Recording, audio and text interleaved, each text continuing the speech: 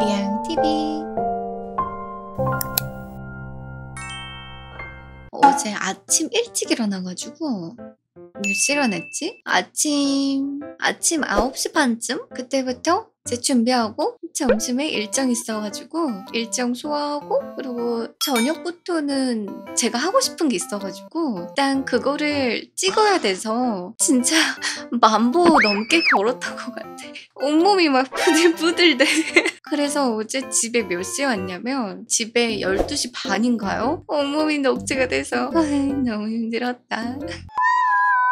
그런 거 있잖아요. 운동을 안 한 사람이 갑자기 무리해서 운동을 하면은 온몸이 막 부셔질 듯 아픈 것처럼 진짜 나 오늘 이눈 떴는데 온몸이 부셔질 듯 아픈 거야. 그래가지고 어 근육통이 온 거예요. 그래서 어 나 어떡하지? 그래서 누워가지고 한 시간 동안 못 일어나고 있었어.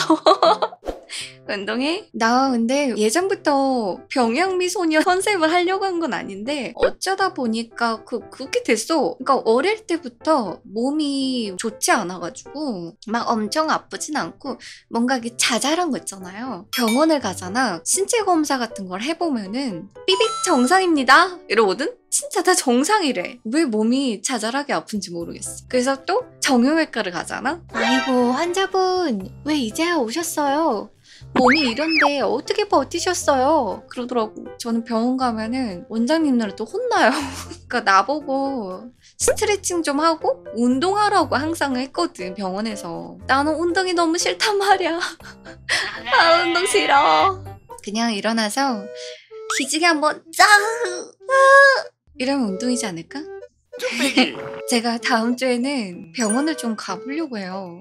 일자목 원래 사람 몸이 이게 점점 쭈쭈쭈쭈쭈쭈쭈쭈쭈쭈쭈쭈쭈쭈쭈쭈 하고 펴졌다가 일자가 됐다가 이제 갑자기 이게 뜨드드드드드드드드드드 하고 뒤로 빠져가지고 역시가 되고 있거든요. 제가 얼마 전에 친구를 만났는데 집에 출근해야 되는데 너무 몸이 안 좋아서 병원을 갔대.